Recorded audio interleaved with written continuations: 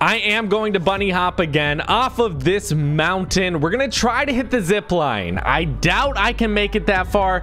Maybe land in the water, survive somehow. We'll see. We're lined up pretty nicely. And here we go. Whoa, my God. I think that was cooler than any bunny hop could have been.